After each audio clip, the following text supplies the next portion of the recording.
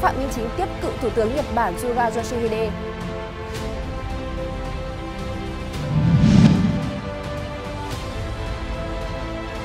Nga cáo buộc Mỹ dựng chuyện xâm lược Ukraine.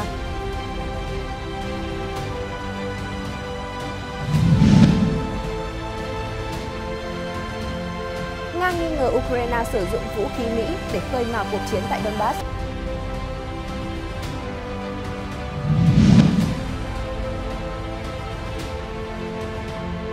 Sợ có biến, Ukraine tập trận rầm rộ tại thủ đô Kiev.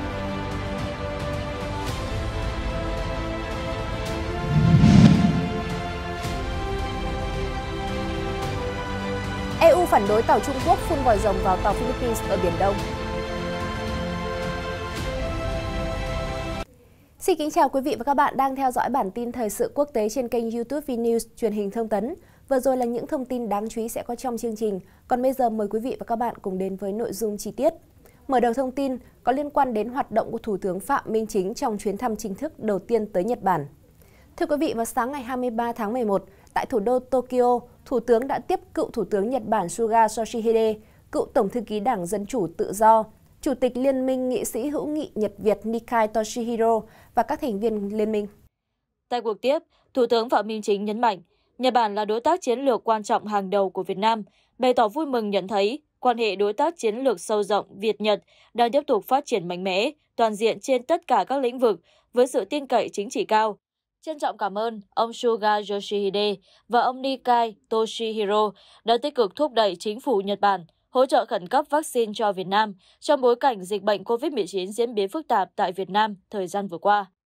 Người đứng đầu chính phủ Việt Nam đánh giá cao những đóng góp tích cực, hiệu quả của cựu Thủ tướng Suga và Chủ tịch Nikai, cũng như các thành viên Liên minh nghị sĩ hữu nghị Nhật-Việt vào việc thúc đẩy quan hệ đối tác chiến lược sâu rộng giữa hai nước không ngừng phát triển mạnh mẽ và hiệu quả trên các lĩnh vực, thúc đẩy hợp tác kinh tế, thương mại, đầu tư và giao lưu nhân dân.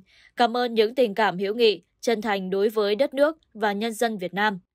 Thủ tướng Phạm Minh Chính đề nghị cựu Thủ tướng Suga, Chủ tịch Nikai và Liên minh nghị sĩ hữu nghị tiếp tục có những đóng góp vào việc tăng cường hợp tác giữa Quốc hội, giao lưu nghị sĩ, các nhà lãnh đạo trẻ hai nước, đồng thời phát huy vai trò cầu nối của các tổ chức nghị sĩ hữu nghị của hai nước. Nhất trí cao với các phát biểu của Thủ tướng Phạm Minh Chính, Chủ tịch Nikai khẳng định Liên minh nghị sĩ hữu nghị sẽ tiếp tục đóng góp tích cực, hiệu quả cho việc củng cố và tăng cường quan hệ Việt Nam, Nhật Bản, thúc đẩy các hoạt động góp phần thắt chặt tình hữu nghị, sự hiểu biết giữa nhân dân hai nước, trong đó có thế hệ trẻ, góp phần mở ra những cơ hội mới cho hợp tác trên nhiều lĩnh vực giữa hai bên. Mới đây nhất, theo Bộ Ngoại giao Nga, cơ quan này đang chuẩn bị kỹ lưỡng cho cuộc gặp giữa Tổng thống Vladimir Putin và người đồng cấp Joe Biden. Quan chức ngoại giao cấp cao của Nga cũng khẳng định chương trình nghị sự cho cuộc gặp giữa hai nhà lãnh đạo sẽ rất rộng. Thứ trưởng Ngoại giao cũng lưu ý, Hoa Kỳ gần đây đưa ra các cáo buộc nhắm vào Nga, cụ thể là trong vấn đề Ukraine. Trước đó, người phát ngôn Điện Kremlin Dmitry Peskov cho biết sẽ là lựa chọn hợp lý nếu tổ chức cuộc gặp giữa lãnh đạo Nga, Hoa Kỳ theo hình thức trực tuyến, nhưng mọi thứ sẽ phụ thuộc vào quyết định của ông Putin và người đồng cấp Hoa Kỳ. Theo ông Peskov, vẫn chưa thể chắc chắn thời gian diễn ra cuộc hội đàm, có thể là trước đầu năm mới hoặc muộn hơn. Liên quan đến diễn biến, trong tuần qua, Tổng thống Putin cũng cho biết quan hệ giữa nước này với Hoa Kỳ không tốt đẹp, nhưng Moscow vẫn sẵn sàng đối thoại. Mỹ đang dựng lên câu chuyện đáng sợ về những đoàn xe tăng Nga phá nát lãnh thổ của Ukraine. Họ nói có thông tin đáng tin cậy về những ý định như vậy của Nga. Cục Tình báo Đối ngoại của Nga cho biết trong thông cáo hiếm hoi vào ngày 22 tháng 11. Mỹ đang gửi thông tin hoàn toàn sai sự thật cho các đồng minh rằng chúng tôi tập trung lực lượng trên lãnh thổ của mình nhằm mở cuộc xâm lược Ukraine. Các quan chức Mỹ đang khiến cộng đồng thế giới lo sợ, thông cáo có đoạn. Điện Kremlin cùng ngày, cáo buộc phương Tây đang dẫn dắt chiến dịch, thông tin với mục đích làm leo thang căng thẳng. Phát ngôn viên Điện Kremlin Dmitry Peskov khẳng định mọi hoạt động di chuyển của quân đội Nga trên lãnh thổ Nga đều không gây ra mối đe dọa hay lo ngại cho bất cứ ai.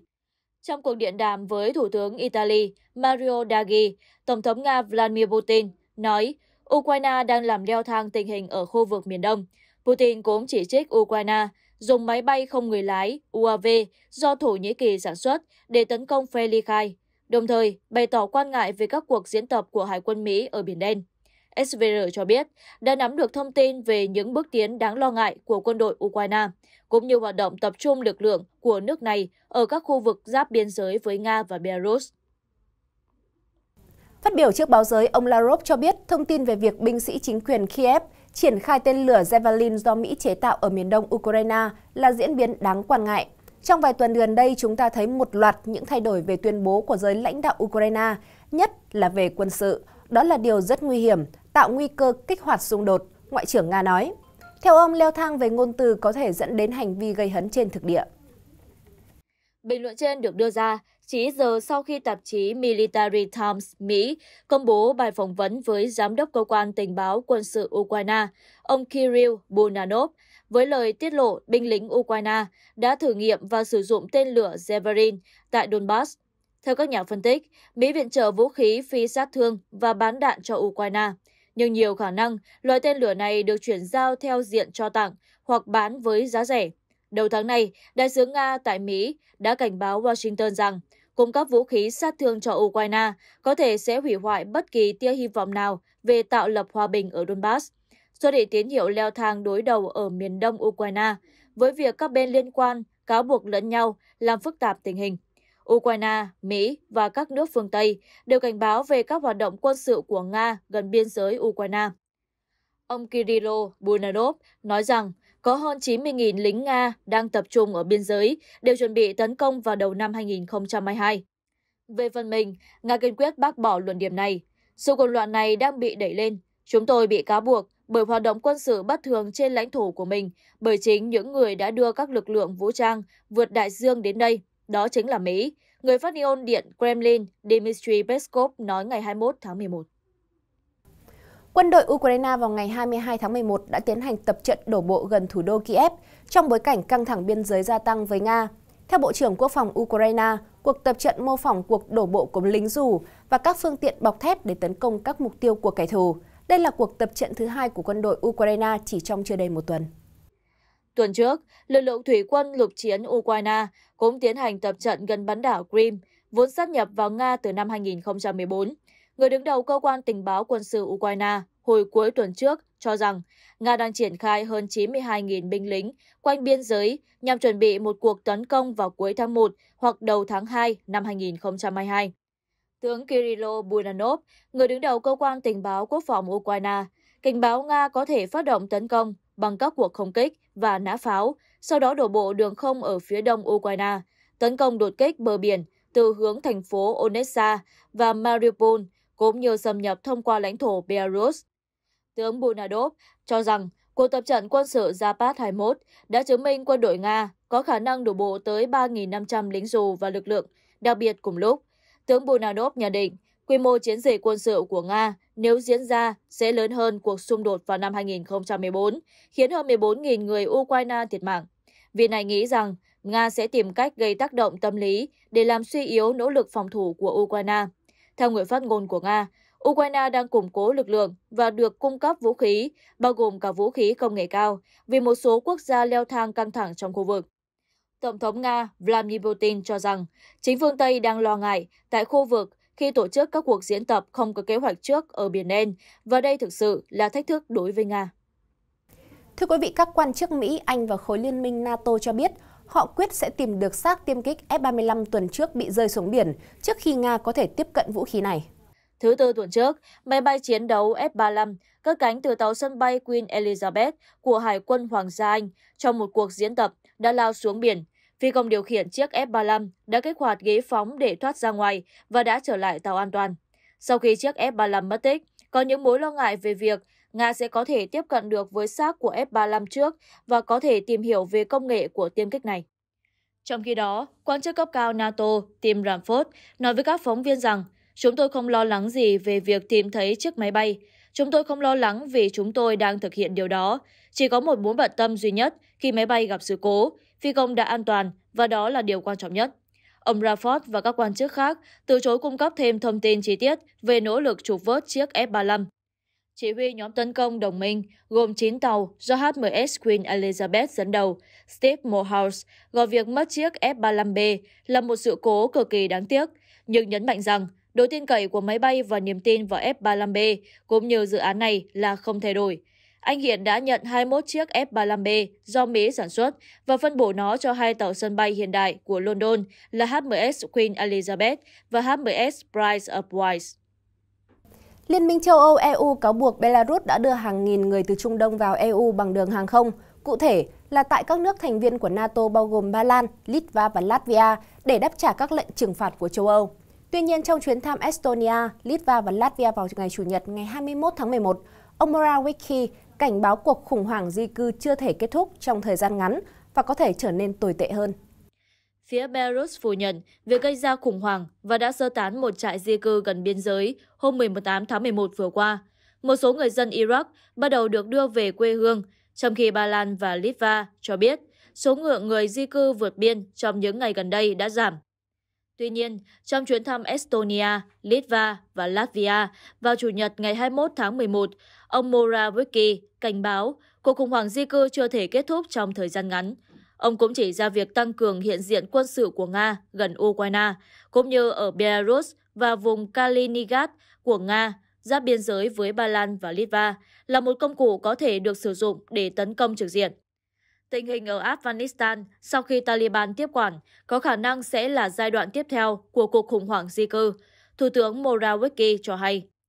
Trong khi đó, Thủ tướng Litva Ingrida Simonite nhận định các đối tác châu Âu không nên phớt lờ các nước láng giềng của Belarus sau khi Thủ tướng Đức Angela Merkel điện đàm với ông Lukashenko hai lần nhằm tìm kiếm giải pháp cho cuộc khủng hoảng nhân đạo. Cùng ngày, Ngoại trưởng Pháp cho biết Nga cần gây sức ép lên Belarus để chấm dứt cuộc khủng hoảng di cư hiện nay. Theo hãng thông tấn Reuters xác nhận trên được đưa ra trong bối cảnh báo bưu điện Washington dẫn các nguồn thạo tin cho biết ông Biden vào hồi đầu tháng này được cho là đã thông báo với các đồng minh về ý định tái tranh cử Tổng thống vào năm 2024, bất chấp những ý kiến lo ngại về tuổi tác. Ông Joe Biden, 79 tuổi, là Tổng thống đương nhiệm cao tuổi nhất trong lịch sử nước Mỹ. Ý định tái tranh cử vào Nhà Trắng năm 2024 đồng nghĩa với việc nếu đắc cử thêm lần nữa, ông Biden sẽ làm Tổng thống ở tuổi 82. Cuối tuần trước, ông Biden đã thực hiện đợt kiểm tra sức khỏe định kỳ đầu tiên kể từ khi nhậm chức hồi tháng 1 năm 2021. Kết quả đánh giá của bác sĩ Nhà Trắng Kevin O'Connor cho thấy nhà lãnh đạo 79 tuổi vẫn đủ sức khỏe để hoàn thành các nhiệm vụ của Tổng thống. Bác sĩ O'Connor cho biết, ông Biden vẫn duy trì thói quen tập thể dục ít nhất 5 ngày mỗi tuần, không hút thuốc lá hay uống rượu bia. Tuy nhiên, vị bác sĩ cũng lưu ý về việc ông Biden đang tăng tần suất ho khi phát biểu trong một vài tháng trở lại đây và nguyên nhân là do trào ngược dạ dày. Ngoài ra, dáng đi của ông Biden cũng kém uyển chuyển hơn trước. Kết quả kiểm tra thần kinh của ông Tổng thống Biden cho thấy ông không có bất cứ rối loạn thần kinh trung ương nào, cũng như chưa xuất hiện nguy cơ đột quỵ, đa sơ cứng, Parkinson. Về kết quả nội soi đại tràng, bác sĩ O'Connor cho biết, ông Biden có một polyp lành tính. Quan chức cấp cao của Taliban kêu gọi Mỹ giải phóng số tiền bị đóng băng của Afghanistan trong bối cảnh nước này đối mặt với những cuộc khủng hoảng nhân đạo. Người đứng đầu cơ quan ngoại giao Taliban Khan Matawi cho biết Mỹ không còn khả năng tham gia vào cuộc chiến với Afghanistan. Do vậy, việc Washington đóng băng tài sản của Afghanistan là không hợp lý. Một số chuyên gia tin rằng việc Mỹ đóng băng tài sản của Afghanistan đã ảnh hưởng đến người dân nước này khi họ đang phải vật lộn với những thách thức kinh tế nghiêm trọng. Trước đó, ông Mutaqui đã gửi một bức thư tới Quốc hội Mỹ kêu gọi các nhà lập pháp giải phóng tài sản của Afghanistan với lý do cuộc khủng hoảng kinh tế và nhân đạo căng thẳng ở Afghanistan. Đáp lại, đặc phái viên của Mỹ tại Afghanistan Thomas West nói rằng bức thư của Taliban đã diễn đạt sai sự thật về cuộc khủng hoảng kinh tế và nhân đạo của đất nước. Tình hình nhân đạo ở Afghanistan đang xấu đi, trong khi tình hình an ninh ngày càng trở nên tồi tệ kể từ khi Taliban lên nắm quyền kiểm soát đất nước. Chương trình Lương thực Thế giới của Liên Hợp Quốc cảnh báo hàng triệu người Afghanistan sẽ phải đối mặt với nạn đói trong mùa đông này nếu không có hành động khẩn cấp. Litva rơi vào tình cảnh hiện nay bởi họ đã bị một số nước lớn xúi dục và tự hy sinh lợi ích của chính mình. Chúng tôi kêu gọi các quốc gia ưu tiên lợi ích của bản thân, tôn trọng sự công bằng quốc tế, không để một số quốc gia lợi dụng và bị vướng vào những cuộc đối đầu vô nghĩa, phát ngôn viên Bộ Ngoại giao Trung Quốc Triệu Lập Kiên cho biết vào ngày hôm qua. Phát biểu được đưa ra một ngày sau khi Trung Quốc hạ quan hệ ngoại giao với Litva xuống cấp đại biển vì nước này cho đảo Đài Loan mở văn phòng đại diện ở thủ đô Vilnius. Chúng ta cần chú ý xem Litva sẽ tiếp tục đi theo con đường này hay sửa chữa sai lầm và khắc phục tình hình. Ông Triệu nói khi được hỏi liệu Bắc Kinh có định cắt quan hệ ngoại giao với Vilnius hay không. Hạ cấp quan hệ là động thái mới nhất trong căng thẳng ngoại giao giữa Trung Quốc với Litva suốt nhiều tháng qua. Thông cáo của Liên minh châu Âu EU tái khẳng định sự phản đối mạnh mẽ của khối đối với bất kỳ hành động đơn phương nào gây nguy hiểm cho hòa bình, an ninh và ổn định trong khu vực, cũng như là trật tự dựa trên luật lệ quốc tế. EU cũng nhấn mạnh tầm quan trọng của tất cả các bên trong việc tôn trọng tự do hàng hải và hàng không ở Biển Đông. Liên minh châu Âu cũng ủng hộ tiến trình do ASEAN dẫn dắt hướng tới bộ quy tắc ứng xử ở Biển Đông. EU cho rằng quy tắc này phải hiệu quả, thực chất và ràng buộc về mặt pháp lý, đồng thời không phương hại đến lợi ích của các bên thứ ba. Thông cáo của EU được đưa ra sau khi Philippines cáo buộc ba tàu hải cảnh Trung Quốc ngày 16 tháng 11 chặn đường và phui vào rồng vào hai tàu tiếp tế của Philippines. Vào thời điểm xảy ra vụ việc, các tàu Philippines đang trên đường tới bãi cỏ mây thuộc quần đảo Trường Sa của Việt Nam. Thưa quý vị, Thủ tướng Pháp Castex vào ngày 22 tháng 11 đã có kết quả dương tính với SARS-CoV-2 sau khi trở về từ chuyến công du ở Bỉ. Vì vậy, năm quan chức Bỉ bao gồm Thủ tướng Bỉ Alexander De Croo và bốn bộ trưởng khác đã buộc phải cách ly để đề phòng và sẽ được làm xét nghiệm vào ngày 24 tháng 11. Ông Castex đã tiêm đủ hai mũi vaccine và cũng sẽ tự cách ly trong 10 ngày nhưng vẫn làm việc bình thường. Văn phòng ông cho biết, Thủ tướng Pháp phát hiện ra con gái ông mắc COVID-19 sau khi ông trở về từ Bỉ nơi ông gặp người đồng cấp De Croo và các bộ trưởng. Ông Castex, 56 tuổi, hiện chưa đủ điều kiện để được tiêm mũi vaccine tăng cường. Biện pháp mà Tổng thống Pháp Emmanuel Macron cho rằng có thể giúp nước này tránh việc bị phong tỏa lần nữa, trong bối cảnh tình hình dịch bệnh ở châu Âu vẫn đang phức tạp. Pháp hiện mới chỉ cho phép người trên 65 tuổi tiêm mũi tăng cường, mặc dù cơ quan cố vấn nước này kêu gọi việc mở rộng nhóm tuổi xuống những người trên 40 tuổi. Trước đó, chính phủ Pháp cũng cho biết làn sóng COVID-19 lần thứ năm tại nước này đang gia tăng với tốc độ đáng báo động khi số ca nhiễm mới hàng ngày tăng gần gấp đôi trong tuần qua. Thưa quý vị, thưa các bạn, những thông tin vừa rồi cũng đã kết thúc bản tin tối phát sóng vào lúc 18 giờ hàng ngày trên kênh YouTube VNews truyền hình thông tấn của chúng tôi. Còn bây giờ xin kính chào tạm biệt và hẹn gặp lại quý vị và các bạn trong những chương trình tiếp theo.